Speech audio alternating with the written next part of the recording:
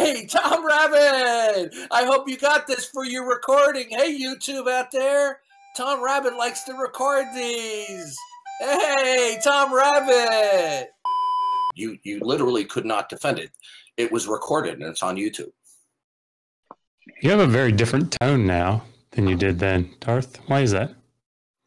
Uh, notice how the deflection. Would you mind answering the question? I mean, I, I don't think it's an, a question worth answering. So you want to answer mine? Why is it not worth answering? You continue to promote yourself as an atheist. You put it on a book, an atheist guide to the Old Testament.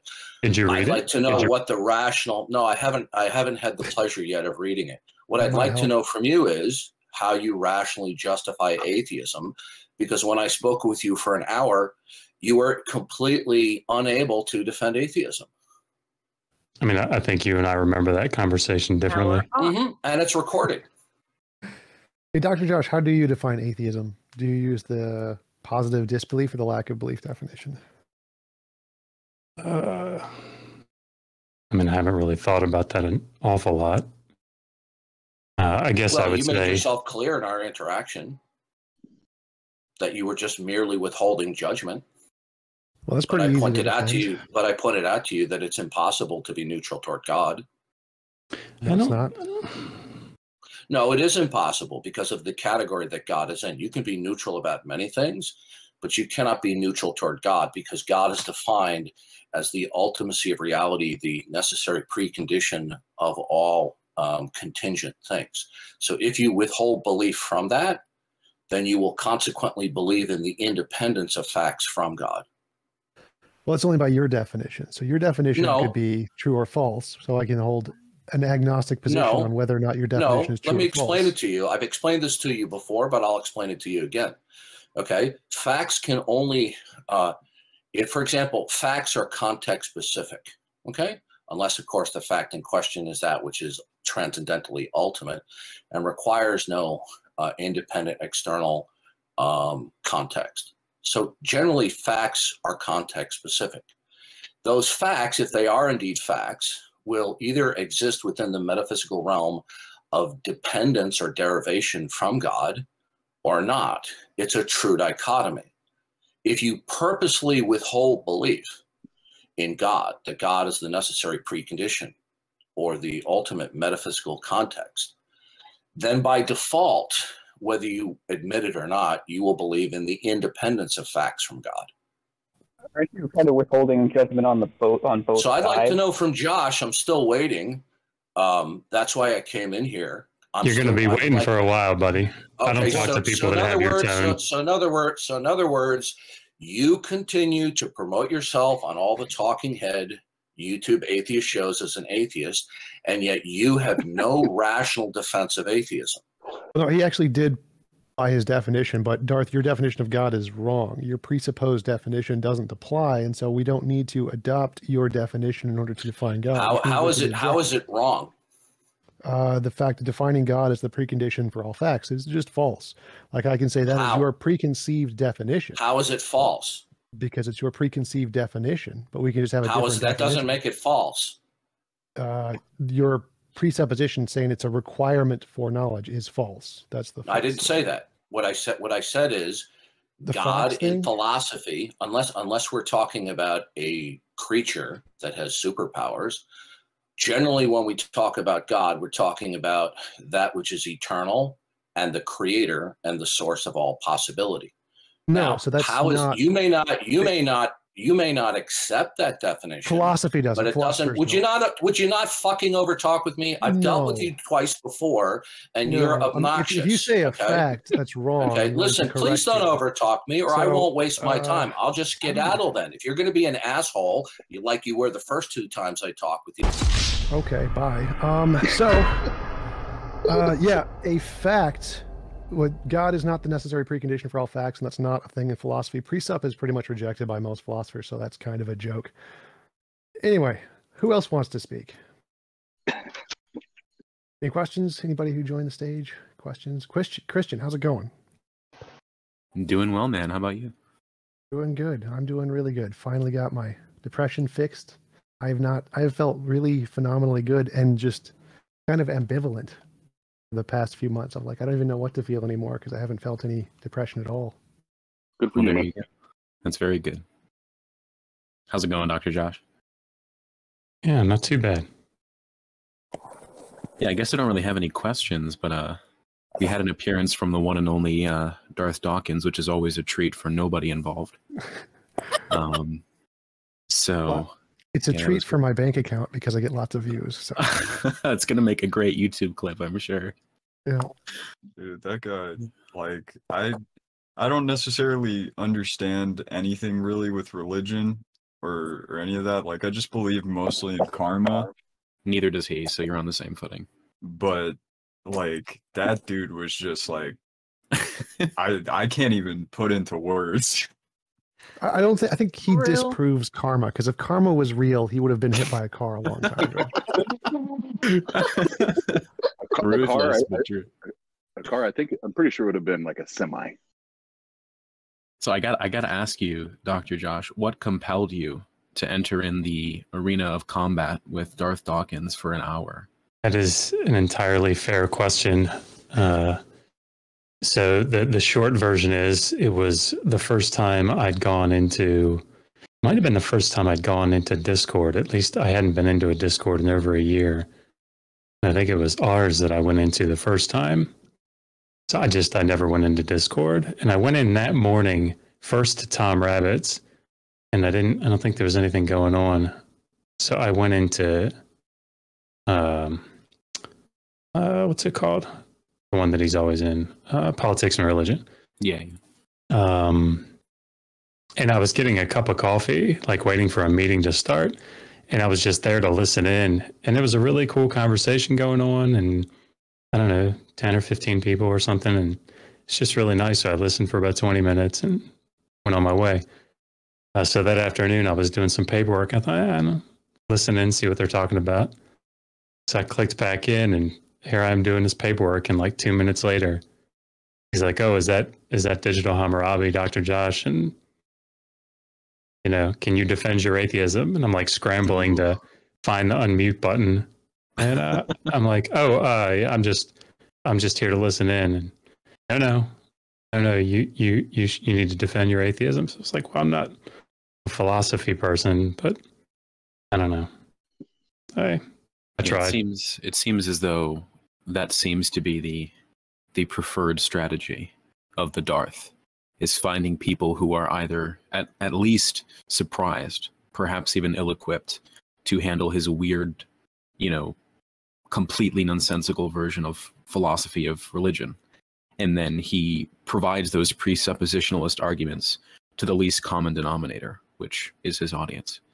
And then, you know, advocates for them rather vociferously on the Discord and then almost almost certainly interrupts you the second you start talking. So I I don't I don't blame you for for not was- engaging in that.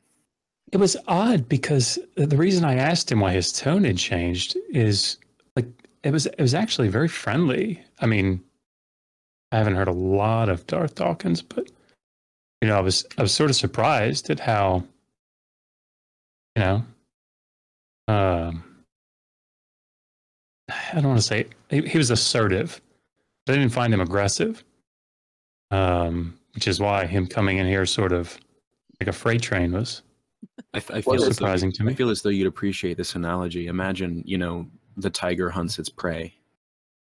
Starts off very meager and and and almost sulks sulks towards its prey at the very beginning. I think Darth has the same approach where the niceties exist only to service Meanwhile, at the Legion of Doom. This is why I refer to him as autistic, right? Because it, it's not that he's stupid.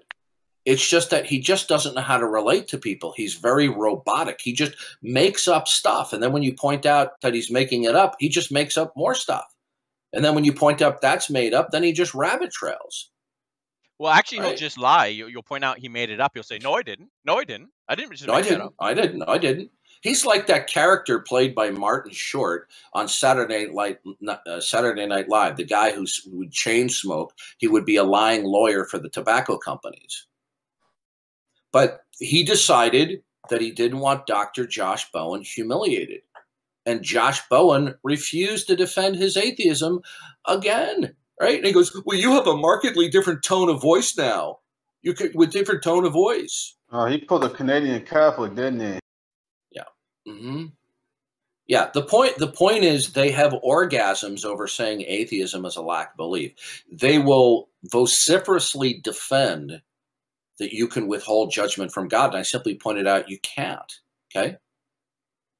And you Uh, see, I- when T Jump says it's wrong, all I have to simply say is, okay, do you positively believe that what is fundamental to all contingent states, that is indeed eternal and transcendentally necessary for all contingent states, is a mind? Okay. And if they say no, say, good, that's what I'm referring to as God, and you do not believe in that. Right? One thing you can learn, my fellow believers, and those of you who may be on the verge of becoming believers, atheists to one degree or another are pathological liars, okay? And they're shameless about it. And we saw it on full display again. Here we have a guy who is an Assyriologist. He writes a book attacking the Bible, the atheist guide to the Old Testament. He goes, Did you read it? And I said, No, I haven't had the pleasure of reading it yet. I said, but I'd like to know why you're calling it an atheist guide when you cannot defend your atheism. You can't give me a rational accounting for it, right? And he categorically, before I got kicked, absolutely stated he refused he was going to talk with me. Well, if it's not uh, rational, wh- what kind of guide is it? I I wonder what kind of guide it is.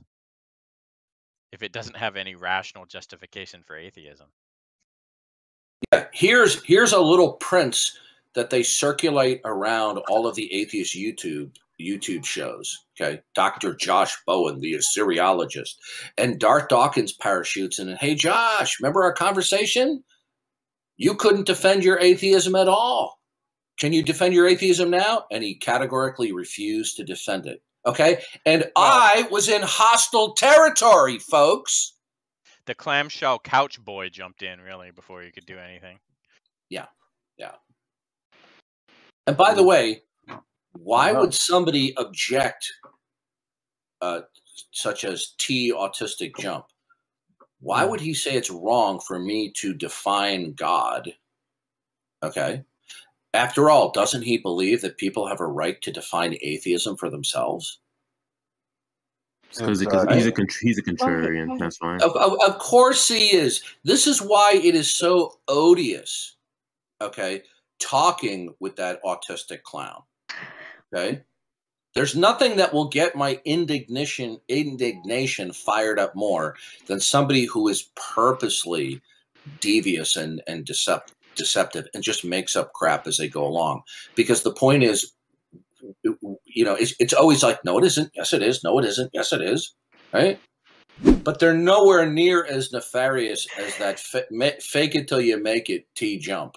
Don't you love? He goes, that definition of God is wrong. Well, T jump is, is just on a, T jump is just on another level when it comes to intellectual heel dragging because most people will drag their heels when you explain to them how they're actually denying God. Then they'll drag their heels. T jump dr- drags his heels as soon as you define God, right? As soon as you describe the concept of God, he says, "That's not that's not right. That's not the right description of God." Oh, oh, so so would you would it make you feel better if I defined that which is eternal and the source of all possibility in a mind, the boogeyman? Would that make you feel better? I, I I couldn't believe it when he said he goes that definition. I go, what makes it wrong? Okay, and I repeated myself several times, and he couldn't tell me why it was wrong. He just kept on saying it's a wrong definition. I, I don't even think a definition can be wrong because it's just a description of a concept. You might not believe it's actual. Well, in all in all in all fairness, it could be wrong in the sense that we are are using a widespread uh, word and we're defining it contrary to its widespread usage and we're simply using it in a, pri- a proprietary sense without uh, explaining that we're, you're using a non-standard definition. yeah, you're using it in a deceptive manner. You're right i'm not i'm not using the word god in a non-standard way Yeah, that would Okay. be that would be the concept of God that Muslims, Christians, Jews yeah all all would agree with generally. So, in one sense, a definition can't be wrong, but in another sense, it can, right? Because if you're going to, if like if I talk to you that I had cake for dessert tonight, right, and then later on you find out that I'm defining it as dog food, right? If I didn't tell you ahead of time, then that definition would be wrong, right? It sounds You like to dog me food he had. too? It sound. It sounds like No, to me he had. It sounds like to me he had an idea of what the correct definition was.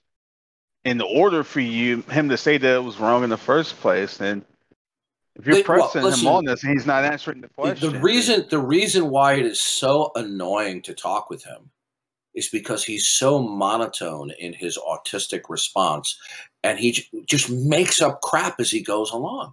I mean, if, look, if you don't believe me, just watch his, him and his interaction with Dr. James Anderson.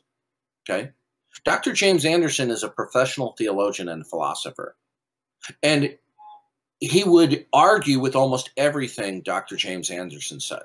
He was just a contrarian, right? This is what imbeciles do. But he was just running cover and white knighting for Dr. Josh Bowen.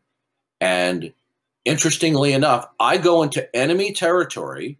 I challenge one of their biggies. Okay. He's a prince among all the atheists. And I'm like, hey, you couldn't defend atheism. Do you want to defend it now? And he completely tapped out like a scared Girl Scout.